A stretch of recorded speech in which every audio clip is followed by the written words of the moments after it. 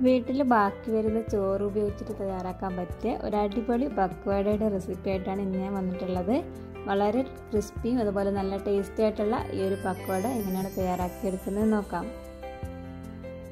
അതിനായിട്ട് ഞാനിവിടെ ഒന്നര കപ്പ് ചോറ് ഇത് എടുത്ത് വെച്ചിട്ടുണ്ട്. ഏത് അരിയുടെ ചോറായാലും കുഴപ്പമില്ല.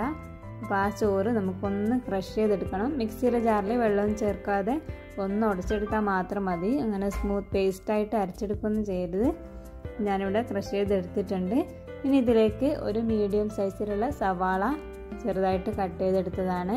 അതുപോലെ ഒരു മൂന്ന് പച്ചമുളക് ഒരു കഷ്ണം ഇഞ്ചി ചതച്ചെടുത്തത്. അതുകൂടെ അതിലേക്ക് ചേർത്ത് കൊടുക്കാം.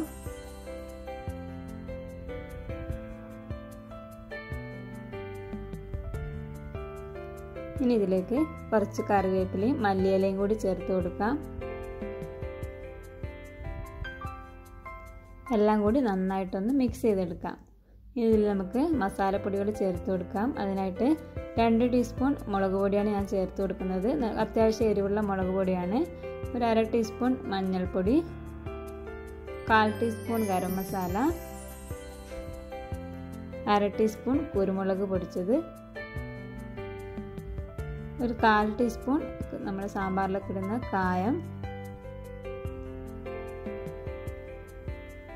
ഒരു അര ടീസ്പൂൺ ചെറിയ ജീരകം കൂടി ചേർത്ത് കൊടുക്കുന്നുണ്ട്.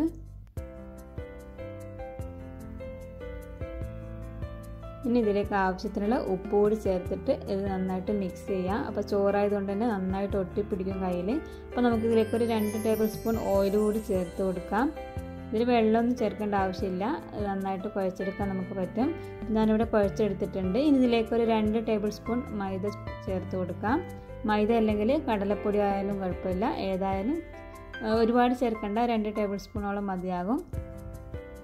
ഇത് നന്നായിട്ട് കൈവച്ചിട്ട് നമുക്ക് നന്നായിട്ട് കുഴച്ച് ഇതിന്റെ മാവ് തയ്യാറാക്കാം. അപ്പോൾ ഞാനിത് നന്നായിട്ട് കുഴച്ചെടുത്തിട്ടുണ്ട്. ഇനി നമുക്ക് ചൂടായ എണ്ണയിലിട്ടിട്ട് ഫ്രൈ ചെയ്തെടുക്കാം.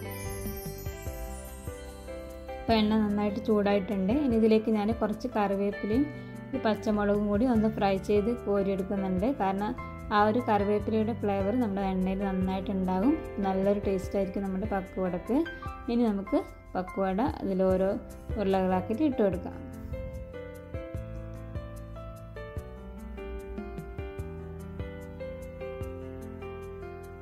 നല്ലൊരു ഗോൾഡൻ ബ്രൗൺ കളറാകുന്നത് വരെ ഇതൊന്ന് ഫ്രൈ ചെയ്തെടുക്കാം. ഒരു മീഡിയം ഫ്ലെയിമിലിട്ടിട്ട് നന്നായിട്ട് ഫ്രൈ ചെയ്തെടുത്താൽ മതി.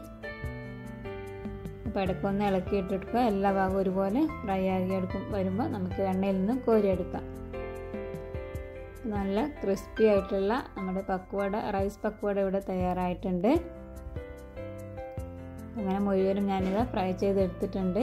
വളരെ ടേസ്റ്റിയും അതുപോലെ നല്ല ക്രിസ്പി ആയിട്ടുള്ള ഈ ഒരു പക്വട എല്ലാവരും ട്രൈ ചെയ്ത് നോക്കണം. എന്തായാലും ഇഷ്ടപ്പെടും. നിങ്ങൾക്ക് ഈ വീഡിയോ ഇഷ്ടപ്പെട്ടിട്ടുണ്ടെങ്കിൽ ഒന്ന് ലൈക്ക് ചെയ്യുക. കുട്ടികൾക്കൊക്കെ ഇങ്ങനെ തയ്യാറാക്കി കൊടുക്കുക. കെച്ചപ്പൊക്കെ ഉണ്ടെങ്കിൽ അവർക്കൊക്കെ എന്തായാലും കഴിച്ചോളൂ. അപ്പം നിങ്ങളിതുപോലെ തയ്യാറാക്കി നോക്കിയിട്ട് നിങ്ങളുടെ കമൻസ് അറിയിക്കുക.